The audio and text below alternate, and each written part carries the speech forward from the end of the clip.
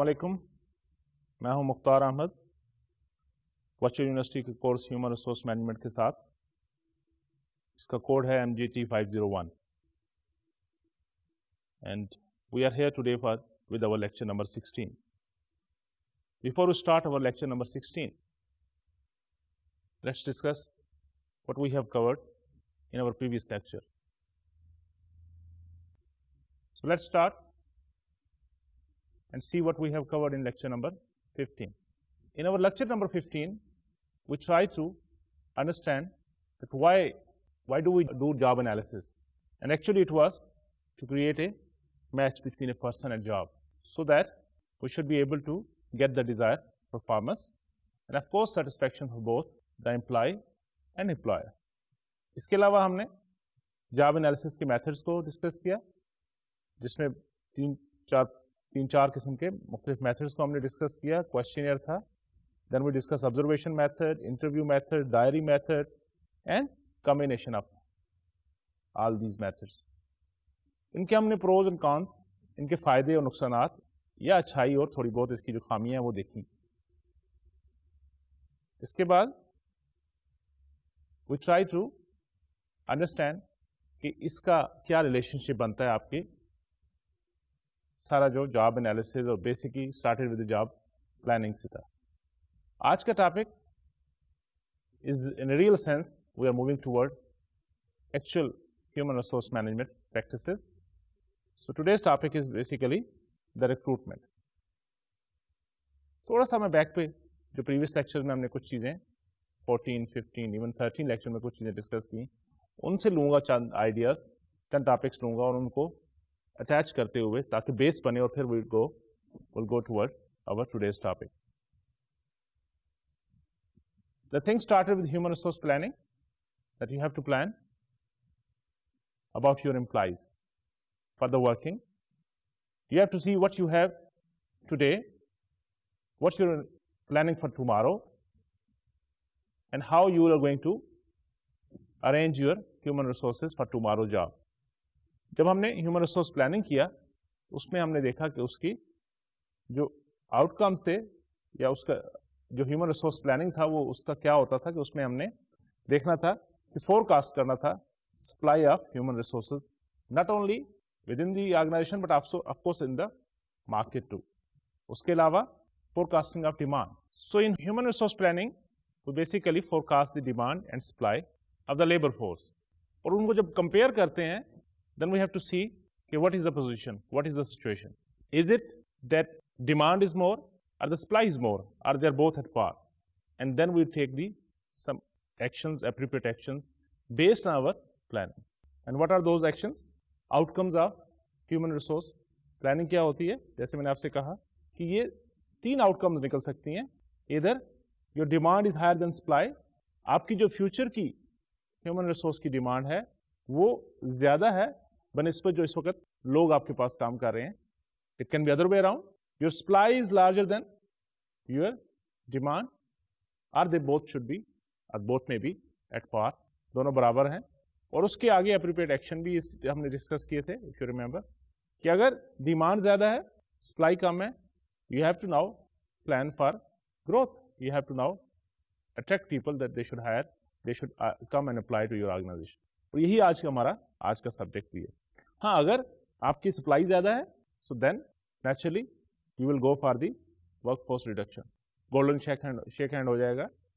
आप लोगों को जो टेम्प्रेरी होंगे उनको you can send them home whatever but you will do that you will plan for the workforce reduction और अगर दोनों बराबर हैं then just plan for the stability और उसी बेस पे फिर हम जॉब एनालिसिस करते हैं, कि what exactly do you require उसके लिए क्या और पेरिफल और एक्टिविटीज़ करनी है आपने? There the job analysis will help you और उसका भी आउटकम हमने याद होगा आपको। तीन आउटकम देखे थे कि जॉब डिस्क्रिप्शन जॉब स्पेसिफिकेशन और जॉब वैल्यूएशन निकलते हैं ये सारी एक्टिविटीज़ करने का then this was the basic homework you you can say before you actually go for HR activities so वो एचआर एक्टिविटीज़ क्या है? तो अब logically we are ready for hiring process. And when we talk about hiring process, now this is a major HR function. इसी पे सारी चीज़ें base कर रही हैं और इस एच आर फ़ंक्शन के लिए आपने पहले जैसे मैंने आपसे कहा जॉब एनालिसिस की उससे पहले ह्यूमन रिसोर्स प्लानिंग की जॉब एनालिसिस की और सारी एक्टिविटीज़ के बाद now the stage is set for hiring process. Now, hiring process is not a one step process, but it has again further three stages. And what are those three stages? Let's see. The hiring process is comprising of three steps. That is, they are number one, recruitment, then the selection, and then of course, socialization.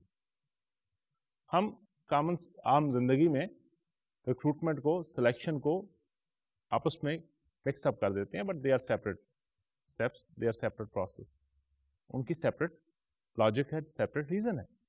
आज हम इसका एक first step जो है recruitment को आज के lecture और नेक्स्ट लेक्चर में इसको समझने की कोशिश करेंगे। Let's see what are those three things just to have the idea then we can move forward recruitment जैसे मैंने आपसे कहा this is the foundation of selection process but what is recruitment then of course it is foundation पहला step है selection process का। Recruitment is basically the process of generating a pool of qualified candidates. You want to have a pool of qualified candidates so that you may be able to pick the best out of those lots. आपके पास option ही थोड़ी होगी तो फिर उसमें chances भी हैं कि आपको अच्छा जो फिट शायद ना मैसर हो तो जितना बड़ा पूल होगा जितना ज़्यादा होगा लेकिन बहुत ज़्यादा भी it is difficult to manage so you have to make a balance there कि कितना आप पूल डेवलप करना चाहते हैं तो पहला स्टेप जो है the foundation step is the recruitment which is developing the pool of the candidates the potential candidates which can be out of which you can hire the best matching personality और person for a particular job तो naturally next stage will be the selection because now you have develop a pool and you now you have to select a person और whatever जितना भी लोग चाहिए आपको, वो उस पूल में से आपने select करना है. The next stage is logically the selection process. Selection is basically the process of making either of decisions, hire or no hire.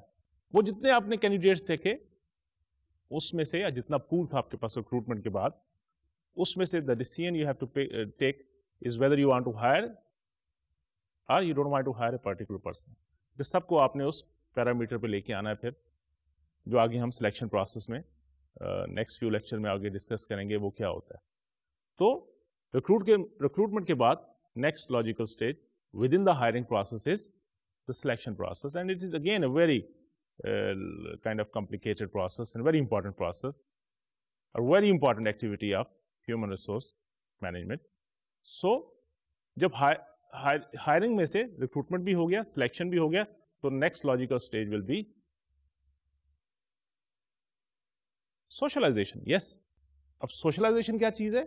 आपने लफ्ज सुना होगा orientation so it is basically when you have new people new worker within your organization you want to acclimatize them environment with your organization so that they should feel comfortable and they should perform as per your requirement and desire to provide you efficiency and effectiveness तो बात यहाँ पर आई कि hiring process है that comprise of three stages they are recruitment selection and socialization इस base ये तीनों मिलके एक पूरा कंप्लीट आपका हायरिंग प्रोसेस करते हैं।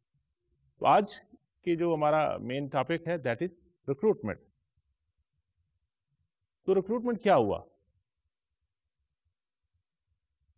Recruitment is searching for and obtaining qualified job candidate ठीक इस जिस पिक्चर में मैंने बताया कि आप डायरेक्ट रीडायरेक्ट कर रहे हैं लोगों को कि वो उस पर्टिकुलर आपकी ऑर्गेनाइजेशन की तरफ़ आए।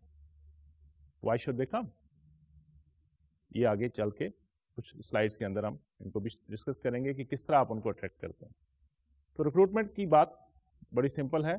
It is developing a pool of the candidate the potential candidate who are meeting the requirement or qualification of your particular job is the recruitment search करना, ना सिर्फ़ सर्च करना, बल्कि उनको अट्रैक्ट करना कि वो आपकी ऑर्गेनाइजेशन की तरफ़ आए और वहाँ पे इंटरेस्ट शो करें कि they want to join your organization this is recruitment और recruitment is again perform when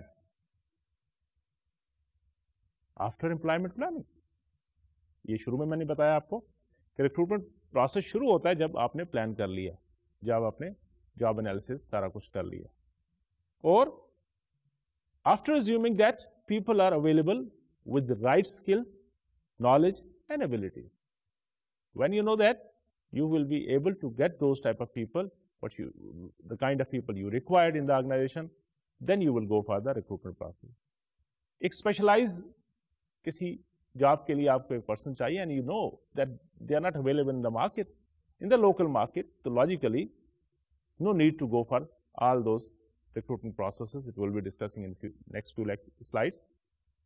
बल्कि पहली बात कि ये प्रोसेस शुरू होता है जब आपने एचआर प्लानिंग कर ली और फिर दूसरा जब आपको मालूम है कि जहाँ पे जो भी तरीका आप अडाप्ट कर रहे हो इंटरनल है एक्सटर्नल है कि इस इससे आपको वो डिजायरेबल लोग वो लोग जिनके अंदर वो नॉलेज वो स्किल वो एबिलिटीज हैं जो आपकी that particular they will be able to perform that particular job तो फिर आप रिक्रूटमेंट प्रोसेस को करते हो and to discover potential job candidates. Yes, वो पोटेंशियल क्या होगी कि उस, उनके अंदर बेसिक वो स्किल तो ज़रूर होनी चाहिए, वो एबिलिटीज़ तो ज़रूर होनी चाहिए, उतना नॉलेज तो ज़रूर होना चाहिए जितनी आपके जॉब की requirements and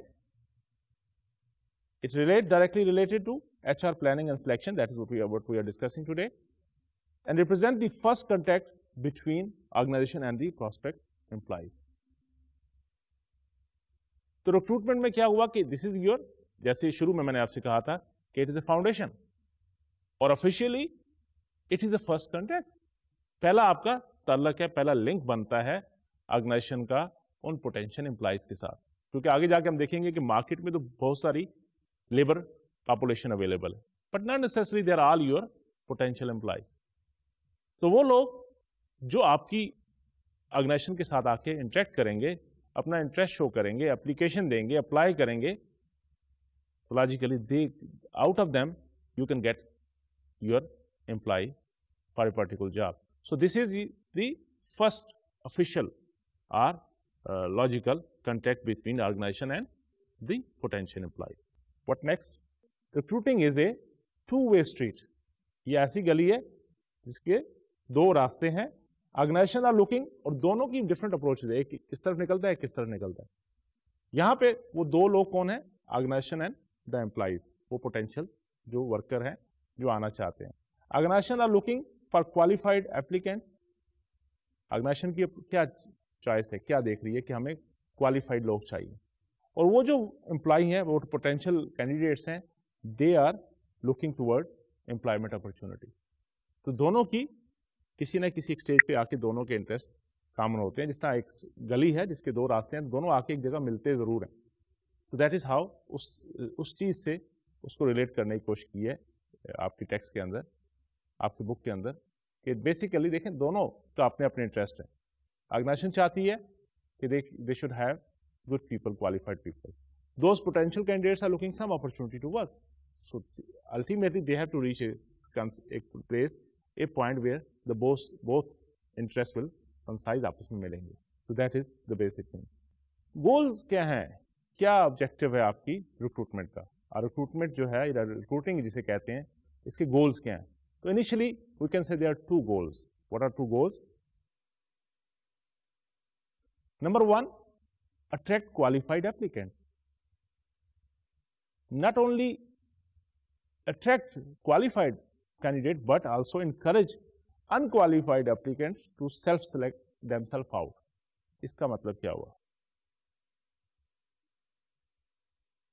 जैसे मैंने आपसे कहा कि इसके रिक्रूटिंग के दो गोल्स हैं basic number one to attract the qualified candidate कि जो लोग क्वालिफाई करते हैं, जो लोग आपकी रिक्वायरमेंट को पूरा करते हैं उस जॉब के लिए they must apply they should apply rather but same time you are also kind of telling people कि since they don't qualify, they should not apply. क्यों? इससे आपका टाइम ज़ाया होगा रिसोर्स ज़ाया होंगे और बहुत सारी एक्टिविटी जो आप सारी आप देखेंगे कि आगे सिलेक्शन प्रोसेस में स्क्रीनिंग करते हैं इंटरव्यू करते हैं इंटू टेस्ट लेते हैं। तो अगर नॉन क्वालिफाइड या अनक्वालिफाइड पर्सन आ जाते हैं तो then you are wasting your time and resources and उनका भी टाइम एंड रिसोर्सेज ज़ाया हो रहे हैं।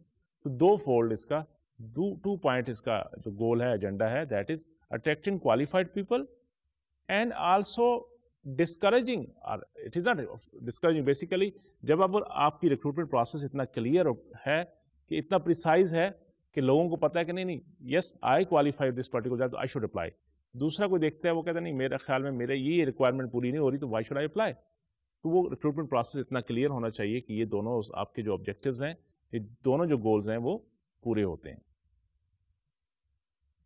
उसके अलावा भी इसको थोड़ा सा और डिटेल में देखते हैं।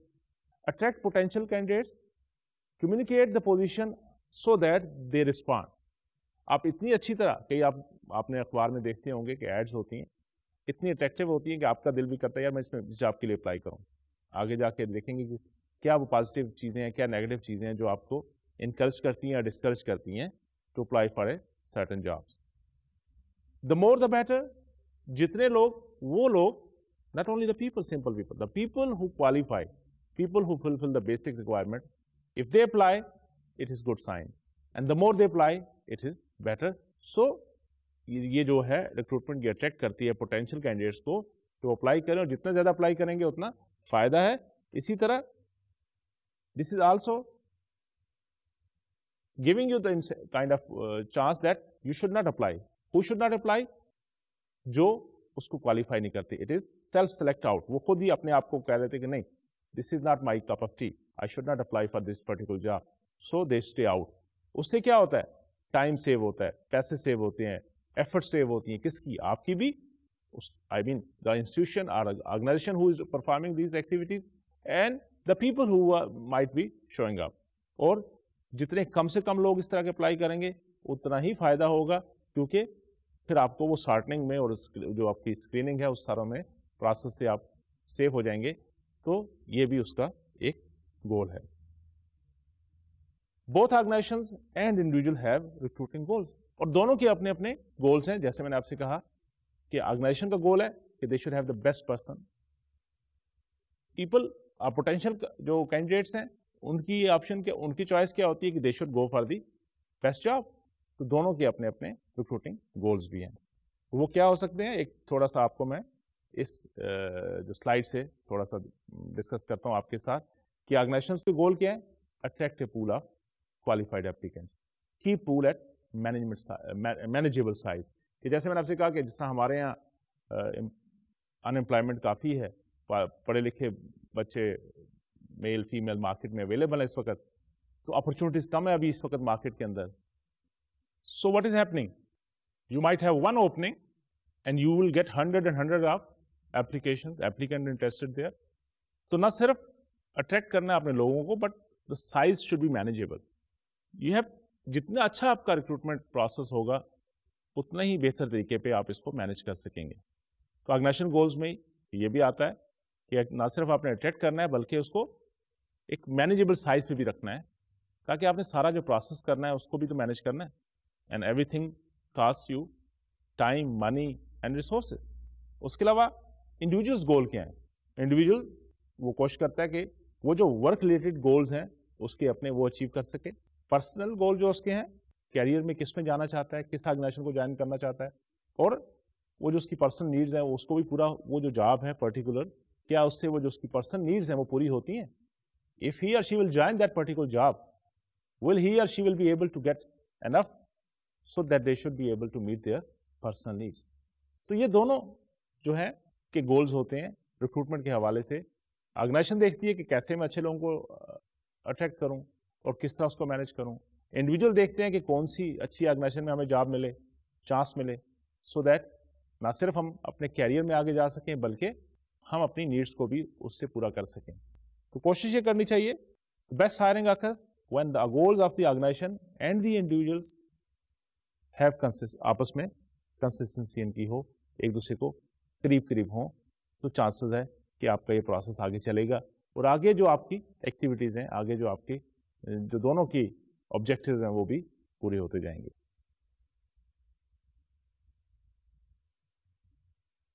But remember, to recruit effectively, an organization must clearly understand the goals are it hopes to accomplish.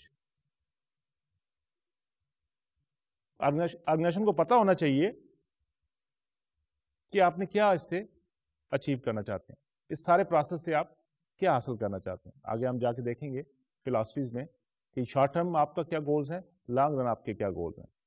तो before starting before doing this recruitment organization must be clear कि what are their what is the bottom line what they are up to तो जब ये चीज़ clear हो जाएगी तो chances are the process will be good और you will get some result out of it लेकिन इसमें कुछ कंस्ट्रेंट भी आते हैं। कुछ इस सारे प्रोसेस को चलाने के लिए रिक्रूटमेंट करने में आपको ऑर्गेनाइजेशन को they have to face certain they are certain constraint there difficulties भी हैं कुछ इश्यूज़ भी हैं। Let's discuss them image of the organization is very important. Factor determining the success of or outcome of the recruitment process. What, what do we mean here, image of the organization? People say, yeah, let's see if you like you are student here. You might have you might be inspiring कि जी मुझे मैं पढ़ लूँ तो मैं एक बड़े अच्छे अदारे में काम करूँगा कुछ ऑर्गेनाइजेशन होती हैं उनका इमेज इस तरह का होता है कि everybody desire of course image based on what उसकी परफॉर्मेंस उसकी क्वालिटी उनकी मार्केट वर्क उनकी मार्केट वैल्यू उनका इन्वायरमेंट कैसा वर्किंग तो कुछ ऑर्गेनाइजेशन का पॉजिटिव इमेज होता है, कुछ का नेगेटिव होता है। वो इमेज जो है, उसके base that is also affecting your recruitment process अगर एक ऑर्गेनाइजेशन ऐसी, जिसका इमेज अच्छा है मार्केट में, अगर वो मार्केट में एक पोस्ट भी अनाउंस करती है तो क्या होता है? कि even people who well establish well settle somewhere else they will also come up and they will say, why don't we get a chance and work in this organization? So image of organization is the first thing which is affecting. It can have a positive or negative effect on the recruitment process. Let's see the positive side. So why, why or what are the things which will make the image of any organization a positive image? Salary, of course, because this is the one very important aspect. People work for it. क्यों काम करते हैं आप? What is the catch? Yes, you want to work that you should be getting reasonable compensation. तो कुछ organisation ऐसी हैं आप देखते हैं कि जिसमें प्राइवेट सेक्टर है मल्टीनेशनल्स हैं दे पे गुड सैलरीज तो this is itself a positive image attraction attraction है वहाँ पे लोगों के लिए कि उस ऑर्गेनाइजेशन के अंदर अप्लाई करें तो salary can be one positive factor of course it can be negative when the salary if you are not paying good salary और राइट सैलरी तो अच्छी salary is a positive sign, positive uh, image of, uh, it is showing the positive image of the organization. Benefits क्या है उसके अलावा? Compensation जब system हम पढ़ेंगे तो आप उसमें देखेंगे कि सैलरीज और जो वेजेस हैं और बेनिफिट्स में क्या फ़र्क है और उसमें डायरेक्ट और इनडायरेक्ट फाइनेंशियल कंपनसेशन किसको कहते हैं? और बेनिफिट्स में ये आता है कि और आपके उसके साथ क्या मिल रहा है? क्या आपके पास हाउस आपको दे रहे हैं, कुछ गाड़ी दे रहे हैं आपको इसके साथ, और क्या फैसिलिटीज़ हैं? मेडिस आपको हेल्थ जो है, उसके इंश्योरेंस उसके साथ शामिल है कि नहीं? तो more the benefits the better it is the image of the organization and the more people will be interested to go for that organization तो ये also this is also a positive sign और positive image है किसी भी organisation के अगर अच्छे benefits उसकी जॉब के साथ अटैच है। Potential what does potential mean here Now, we can also see this potential in two ways.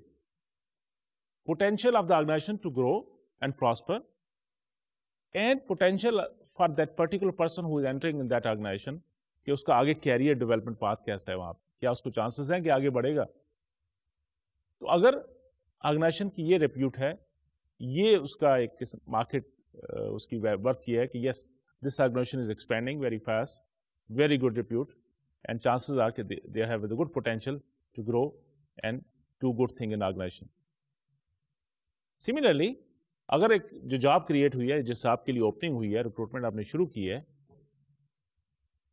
उस जॉब के अंदर भी आगे बढ़ने की चांसेस हैं पोटेंशियल्स हैं तो this is also a good sign and that is also reflecting a positive image of the particular organization and yes large number of people will be applying for a, that particular job within in, in this particular organization where they have the positive signs or positive image होगा उसका उसके अलावा क्या हो सकता है respect again वो दौर गुजर गया जब लोग सिर्फ़ चंद पैसों के लिए काम करते थे क्योंकि लोगों के पास ऑप्शन नहीं थी। They have only one option इधर वर्क और नॉट वर्क अब जैसे हमने डिस्कस किया था कि people have so many different option in the market go and see तो उस ऑप्शन के होने, उन ऑप्शन के होने की वजह से now people also we are human being they want respect तो वो ऑर्गेनाइजेशन जो अपने एम्प्लॉयज़ को रिस्पेक्ट के साथ डील करती है ट्रीट करती है, उनको ऑनर देती है, उनकी वर्क वर्किंग फ्रीडम होता है उनके पास, उनका भी एक पॉजिटिव इमेज मार्केट के अंदर होता है as compare to those organization where they are not treating their employees with respect so they always people say that we should work for two three things what good salary of course uh, this should not be the first criteria first thing but people think that this is the important thing yes freedom to work and respect लोग आजकल अमूमन देखा जा देखा गया जब लोगों से आप बात करते हैं और पूछते हो कि आप को जॉब करने के लिए क्या चाहिए रिक्वायरमेंट है? तो वो अमूमन ये कहते हैं कि एक तो हमें फ्रीडम हो, जो काम हमें दिया जाए, हम अथॉरिटी भी हो उसमें, हमें काम करने में फ्रीडम हो कि हम अपनी मर्ज़ी के मुताबिक काम कर सकें। नंबर टू हमें रिस्पेक्ट के साथ डील किया जाए ट्रीट किया जाए, और उसका yes it should be attach with a good compensation good package तो respect is also a positive image sign कि अगर अच्छा रिस्पेक्ट ऑर्गेनाइजेशन देती है अपने एम्प्लाइज़ को, उनकी ख्याल करती है तो ये भी एक अच्छा एक सिग्नल होगा, एक मार्केट में पॉजिटिव इमेज होगा, जिसकी वजह से आपकी रिक्रूटमेंट प्रोसेस में ज़्यादा चांसेस हैं कि लोग ज़्यादा अप्लाई करेंगे आपके पास। Similarly the other way around the negative aspect the negative image which can discourage people they are not going to apply for that particular organisation वो नेगेटिव क्या होंगे? अगर तो कोई ऐसी ऐसी इंडस्ट्री है जो डिक्लाइनिंग में जा रही है चांसेस आर कि कुछ अरसे बाद वो बंद हो जाएगी। चांसेस आर कि now you have a new thing in the market substitute of that particular industry. इस इंडस्ट्री की अब मार्केट में इतना नहीं रहेगा। तो वो कहते हैं ना कि डूबते हुए जहाज़ में कम ही लोग सवार होते हैं। तो ये एक नेगेटिव इमेज होगा उस ऑर्गेनाइजेशन का। और अगर एडवर्टाइज करें भी आप आप रिक्रूटमेंट प्रोसेस शुरू भी करें तो चांसेस आर कि less people will apply for that particular job for that particular organisation and you if you have the working environment is not good याद है आपको, जब हम trend new trends in employment पढ़ रहे थे, उसमें क्वालिटी ऑफ़ वर्क लाइफ का हमने एक ज़िक्र किया था। तो अगर वर्किंग एनवायरनमेंट अच्छी नहीं है, वहाँ पे काम जहाँ पे हो रहा है, वहाँ पे सेफ्टी नहीं है due to any reason health reason है physical technological any reason that is also a negative part पर that negative image of that particular organisation और उससे उसका रिक्रूटमेंट प्रोसेस जो है, वो इफ़ेक्ट होगा। And people within the organisation they don't feel they are not concern about the workers who are working again वो respect वाली बात जो मैंने अभी डिस्कस की थी, कि यहाँ पे थोड़ा सा इनडिफरेंट बिहेवियर है वर्कर के बारे में। क्या है? They are commodities they are dealing them humanly उनको इंसान होने के नाते उस तरह नहीं देखा जाता जैसे आज लोग को रिस्पेक्ट देनी चाहिए वर्कर को रिस्पेक्ट देनी चाहिए तो फिर वो भी एक नेगेटिव इमेज बनेगा उस ऑर्गेनाइजेशन के बारे में, उस कंपनी के बारे में तो लोग कम से कम उस तरफ़ जाने की कोशिश करेंगे। तो these are positive and negative things you might have more constraint. There are certain other constraint, other reason that either they will encourage people to apply or they will discourage people to apply. Let's see. Job की attractiveness कैसी है उस job attractiveness में जब हम देखते हैं तो ऑफकोर्स देखते हैं कि उसमें कितना फन पार्ट है क्या वो जॉब ऐसी है कि जहाँ पीपल लोग comfortable or if it is boring or not boring तो ये भी एक, एक फैक्टर है जो आपकी रिक्रूटमेंट प्रोसेस को रिस्ट्रेन करता है, कम करता है कि उसमें कम लोग अप्लाई करेंगे। अगर जॉब बोरिंग सी जॉब है, जहाँ पे कोई कोई ऐसी भी जॉब्स होती हैं जहाँ पे लोग जो हैं वो कहते हैं यही जॉब में क्या अकेले बैठ के आप काम करते रहते it's not fun part why should I do that वो दूसरी ऑप्शन की तरफ़ जाने की कोशिश करते हैं। ये अपनी मर्ज़ी की जॉब नहीं है लोगों की। तो बोरिंग जॉब के लिए भी एक नेगेटिव एस्पेक्ट होगा नेगेटिव सिग्नल देगा मार्केट के अंदर और कम से कम लोग उसके लिए आएँगे। हैजर्डस जैसे मैंने आपसे कहा सेफ्टी नहीं है। वहाँ पे कुछ ऐसे केमिकल्स हैं, जिनसे कैंसर हो सकता है, जिनसे और डिज़ीज़ हो सकती हैं। आप कहेंगे कि नहीं, हमारे मुल्क में तो लोगों को जॉब नहीं मिलती। यस दिस इज़ राइट कुछ लोग हैं जो बेचारे पेट के लिए कुछ ना कुछ तो काम करेंगे but when we are talking about the reality the market where everything is free free market की बात करते हैं तो उसके अंदर जहाँ पे ऑप्शन भी बहुत ज़्यादा है जहाँ पे आपको एजुकेशन का चांस मिल रहा है जहाँ पे मुख्तलिफ़ किस्म की ऑर्गेनाइजेशन हैं तो वो ऑर्गेनाइजेशन जिनके अंदर केमिकल्स के ऊपर काम हो रहा है जिनसे डिज़ीज़ पैदा हो सकती हैं कार्सिनोजेनिक कंपाउंड्स होते हैं तो वो भी एक नेगेटिव सिग्नल है negative it is a kind of constant for your recruitment process. Low salary another uh, again thing which will discourage people that they should apply for this job. No potential इनको हम positive sign में देख चुके हैं positive side पे देख चुके हैं।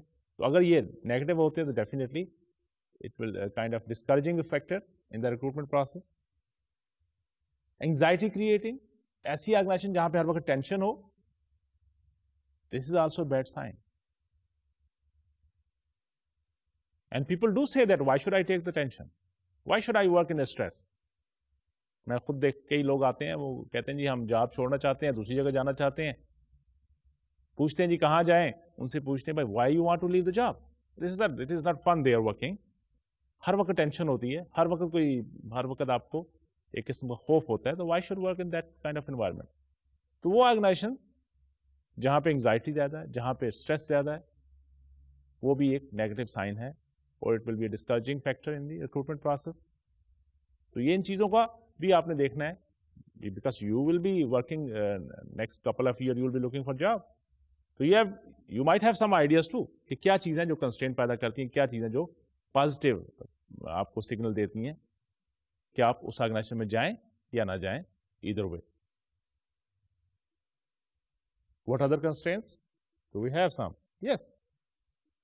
Sometimes the organization policies can also play a very vital role in the process of recruitment for the other people who are interested to come.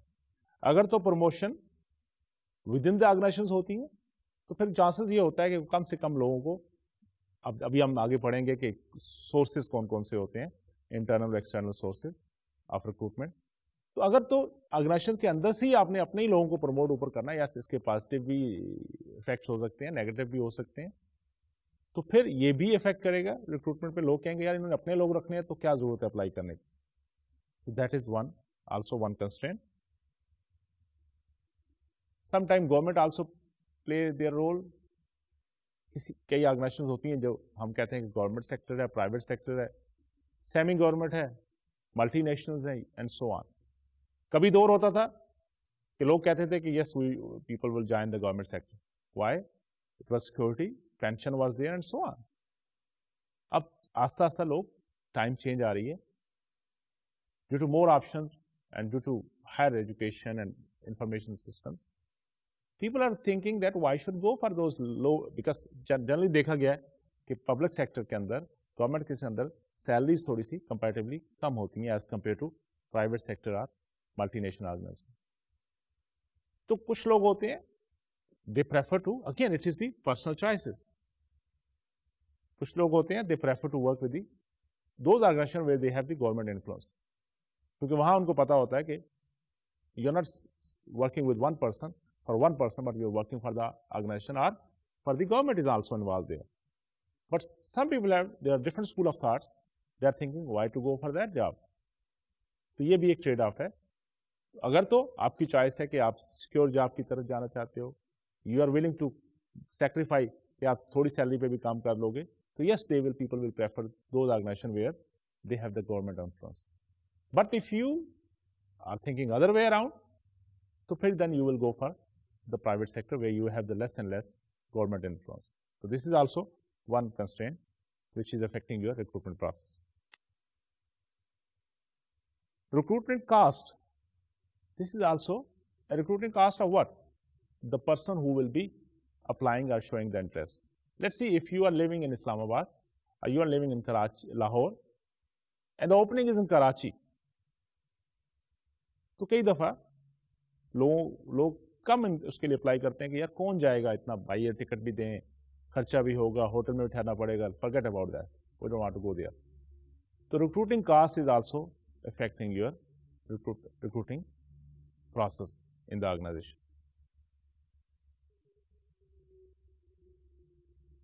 There are certain global issues too. If you are having global business, you have uh, your organization working in different countries, उसमें recruitment करने में क्या issues आएँगे उसमें भी ये देखना पड़ता है कि क्या आपने होस्ट कंट्री से लोगों को लेना है क्या पेरेंट कंट्री से ले, लेना है आपने कि जहाँ से एल पाकिस्तानी को फर्म है वो दुबई में काम कर रही है सिंगापुर में काम कर रही है किसी और कंट्री में भी काम कर रही है। तो अब आपने जब एम्प्लाई रखने हैं वहाँ के लिए तो क्या आप वहीं से लेंगे? यहाँ से भेजेंगे? क्या किसी थर्ड कंट्री से लोगों को हायर करेंगे? आपका ये डिसीज़न भी कि भी बहुत सारी चीज़ें इफ़ेक्ट करती हैं। वो कौन सी चीज़ें हैं? They can be culture political, economical, technological, and legal restriction which can affect you that this, this year.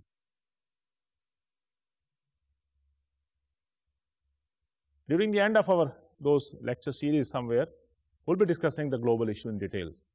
लेकिन यहाँ पे जैसे मैंने आपसे कहा कि दुबई की बात करते हैं कि आपकी लेक्सी दुबई में अबू धाबी में या किसी और कंट्री के अंदर आपका सेटअप है तो वहाँ का कल्चर क्या है वहाँ के लोग क्या प्रेफर करते हैं? क्या कोई लीगल कंस्ट्रेन है? इकोनॉमिकल फैक्टर क्या होगा? यहाँ से लोग लेके जाओगे तो कितना में पड़ रहे हैं? वहाँ से लेंगे तो कितने में आपको मिल जाएँगे? और if you are getting from third country उसका क्या इफ़ेक्ट होगा? Of course and also you have to see the basic skills ability knowledge too तो ये सारे चीज़ें, ये सारे जो फैक्टर्स हैं, ये कंस्टेंट्स हैं बेसिकली जो आपको इफ़ेक्ट कर रहे होते हैं in your recruiting process let's move forward there certain philosophies about recruiting किस नुक्ता नज़र से किस तरह हम इनको देख रहे हैं? Let's discuss few of them ये is very also again very important part of recruiting the sources of recruitment lecture number 17 में हम इसको डिटेल से डिस्कस करेंगे, लेकिन थोड़ा सा यहाँ पे बताता चलूँ। आप इंटरनली भी अपनी ऑर्गेनाइजेशन के अंदर से लोगों को रिक्रूट कर सकते हैं बेटर पोजीशन के लिए। या you can have people from outside again it is a trade off दोनों में कुछ फ़ायदे हैं, कुछ नुकसान भी हैं, ये आगे चल के हम डिस्कस करते हैं। तो this is recruitment can be internally या एक्सटर्नली सिमिलरली जैसे मैंने आपसे कहा था कि शॉर्ट रन या शॉर्ट टर्म व्यू भी हो सकता है और लॉन्ग टर्म भी हो सकता है। क्या फ़र्क है इन दोनों में? शॉर्ट रन व्यू में आपको इमीडिएटली किसी एक जॉब के लिए हायरिंग करनी पड़ रही है। और उस पर्टिकुलर जॉब के लिए आपने रिक्रूटमेंट करनी है। एंड लॉन्ग टर्म में you might be starting your process because not only that that person you want to pick और you want to hire has to perform a job today but you're also, you have already planned that you will be plan, training him or her for the next few advanced level jobs. So that is a short view or long term view of the recruitment. ये भी आपने, जैसे मैंने आपसे कहा था कि आपको पता होना चाहिए कि आप रिक्रूटमेंट क्यों कर रहे हैं। एंड अगेन आप doesn't mean you basically the organisation who is doing the recruitment similarly इसी रिक्रूटमेंट के अंदर, आपको याद होगा जब हमने डाइवर्सिटी मैनेजमेंट का how to manage the diversity को डिस्कस किया था तो रिक्रूटमेंट के ज़रिए भी आप डाइवर्सिटी को मैनेज कर रहे होते हो। and you are attracting more and more people so that you can have a diversify group ये क्यों करते हैं आप एक तो लीगल भी रिक्वायरमेंट्स है यस आपने रूल रेगुलेशन जब हमने लॉज पढ़े थे equal employment opportunities affirmative action and so on and you also know that diversity is good because it will give you a strategic strength it will give you a competitive advantage the more diverse workforce you have you can have more ideas you can have more option तो ये भी एक recruitment के अंदर ये भी आप उसको जो आपकी डाइवर्सिफिकेशन मैनेजमेंट है, उसको करने की कोशिश कर रहे होते हैं। There market marketing orientation too of the recruitment वो कैसे है? You consider applicant as commodities because you have to pick the best one market में आप जाते हो तो कोई चीज़ लेते हो तो क्या करते हैं आप? लेट्स कि कल आप शर्ट्स लेने जा रहे हैं मार्केट के अंदर तो क्या करेंगे?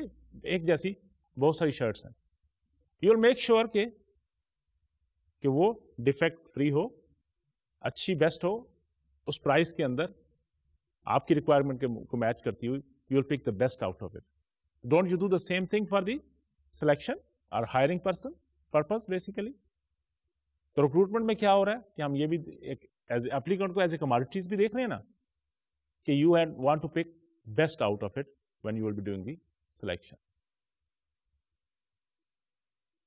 इसी तरह आप उनको एज ए कस्टमर भी समझ रहे हैं, ले रहे हैं। Because they are your customer they are they are your stakeholders if they are satisfy they will do better their performance will be good and they will carry your good name on the market, and it will be good reputation for your organization. तो ये भी एक उसकी orientation की philosophy में आता है similarly ethics इसमें इन्वॉल्व होते हैं आजकल बड़ा फास्ट दौर है पीपल सेंड सीवीज और रिज्यूमे जिन्हें हम कहते हैं how will you make sure कि वो जो कुछ कह रहे हैं ठीक कह रहे हैं of course there are reference checks verification credential verification and so on but that is also there when you're doing the recruitment so that was the philosophies of the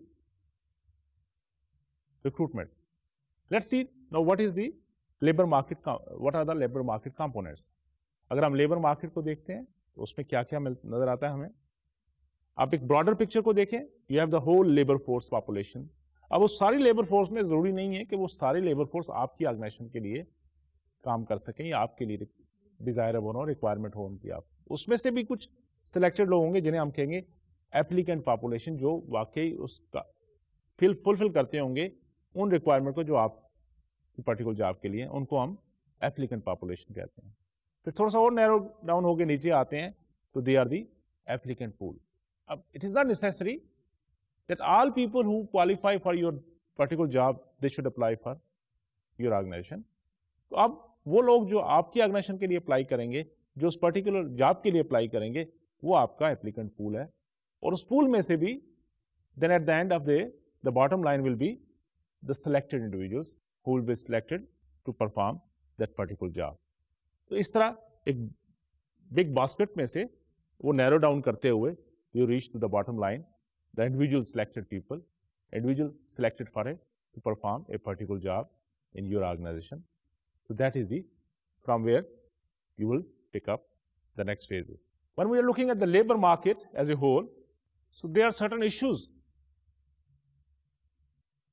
which can affect the recruitment process अभी तो हमने देखा ना कि components क्या हैं recruiting के कि you have the whole market labour force available labour force क्या है? वो लोग जो काम कर सकते हैं। और उसके अंदर भी इवन उसको आप उसके अंदर सेगमेंट करके सेपरेट करेंगे उन लोगों को। Which can be potential candidate for your particular job जैसे आप, मैं मिसाल हमेशा देता हूँ कि प्रोग्रामिंग है। प्रोग्रामर की जॉब है, उसके लिए रिक्वायरमेंट है कि उसको, उसने पढ़ा होना चाहिए, ये क्वालिफिकेशन हो बैचलर होनी चाहिए मास्टर होना चाहिए। प्रोग्रामिंग आनी चाहिए लैंग्वेज टूल्स आने चाहिए उसको। तो ये तो सारा एप्लीकेंट पूल हो गया। लेकिन इस सारी पॉपुलेशन के अंदर ज़रूरी नहीं है कि सारे लोग, वो जो ये क्वालिफाई क्वालिफिकेशन पूरी करते होंगे रिक्वायरमेंट पूरी करते होंगे दे आर योर एप्लीकेंट्स और they can be your pool of applicant तो उनमें से भी कुछ लोग होंगे जो आपकी तरफ़ आएँगे। जो आपकी ऑर्गेनाइजेशन के लिए अप्लाई करेंगे, जो आपकी पर्टिकुलर जॉब के लिए अप्लाई करेंगे। Again here all those positive and negative images of a particular job और organisation will effect your process of recruitment developing of that pool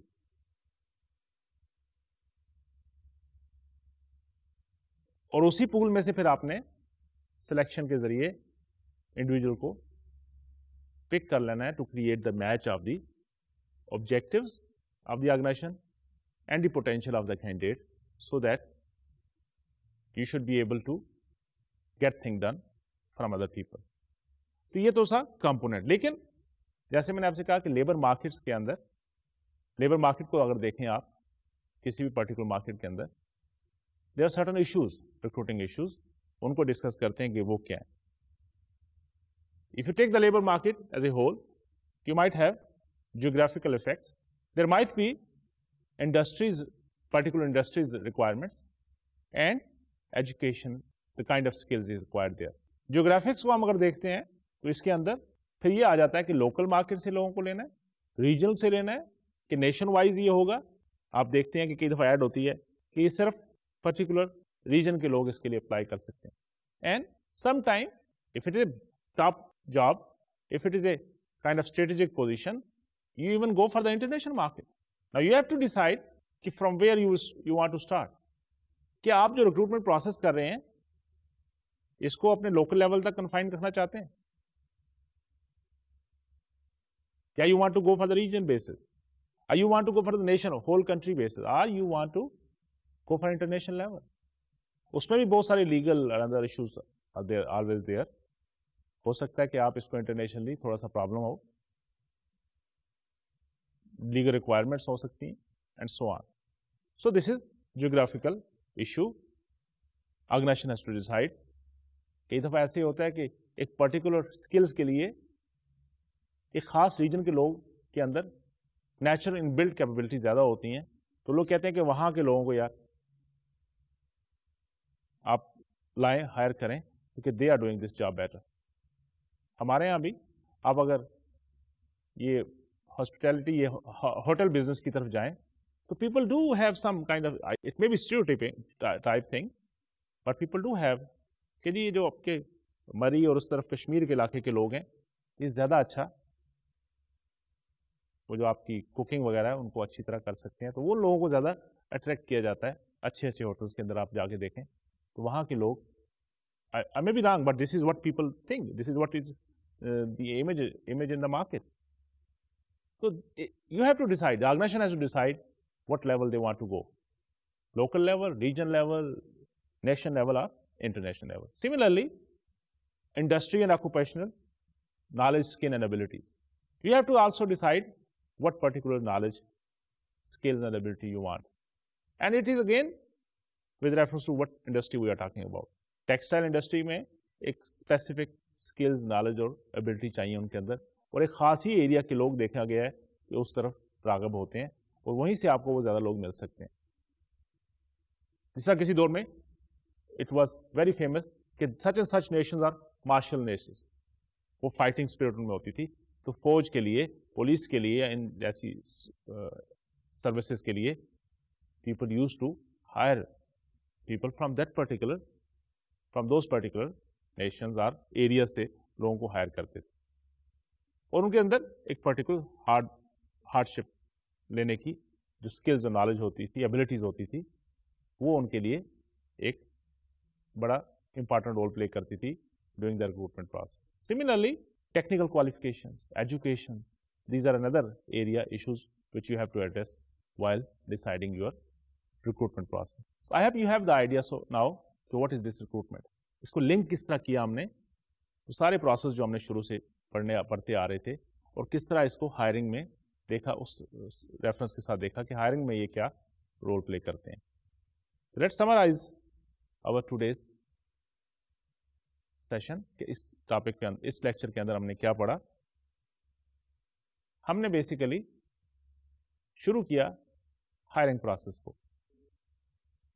hiring से पहले थोड़ा सा वी वेंट बैक कि ये किस तरह जो आपकी ह्यूमन रिसोर्स प्लानिंग है और जॉब एनालिसिस है, किस तरह it is making the ground for your hiring process और फिर हायरिंग प्रोसेस के अंदर हमने तीन उसके स्टेप्स स्टेजेस को देखा recruitment selection and socialisation the foundation step is the first step was the recruitment जो आज का हमारा टॉपिक था.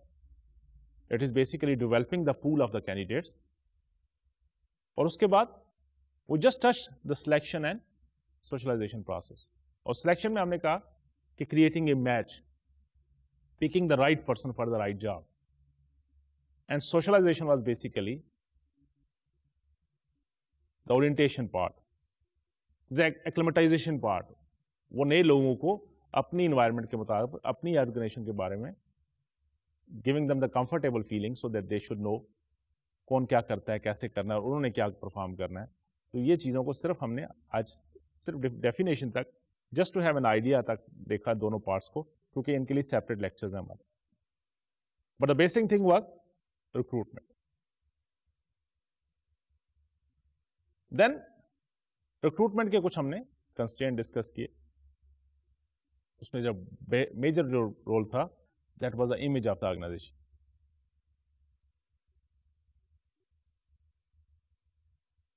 now the organization if the organization have the positive image naturally you can expect more applicant more application in response to your recruitment process but if you have a negative image, definitely you will be receiving less application. फिर उसके बाद और constant हमने discuss की, उनके reason देखे हमने कि पॉजिटिव इमेज किस बात से हो सकता है और नेगेटिव इमेज किस बात से हो सकता है। और उसी बेस पे फिर you will get the response then we cover the recruitment recruiting philosophies जिसमें हमने मार्केटिंग फिलासफी देखी इंटरनल एक्सटर्नल रिक्रूटिंग प्रोसेस देखा, फिर उसके अलावा हमने एथिक्स को देखा इसके अंदर and so on and again it was basically to give you an idea what this recruitment is what is what should be the next logically we are not done with the recruitment we still have to cover one more lecture for this topic and उस lecture में हम क्या करेंगे yes lecture number 17 के अंदर I'll try to discuss few more aspects of recruitment And of course, very important part, the sources of recruitment जिसमें internal और external को हम डिटेल से डिस्कस करेंगे। उनके फ़ायदे, उनसे, उनके जो नेगेटिव एस्पेक्ट्स हैं, वो भी हम डिस्कस करने की कोशिश करेंगे। But again I hope you are following the guideline or जो मैं आपको हर लेक्चर में आपको सजेस्ट करता हूँ। तो वो क्या है कि आप पहले पढ़ के आया करें। आई बिलीव के now you have started picking up the things but keep on working hard and as I said you will make a difference with this thought thank you very much अस्सलाम वालेकुम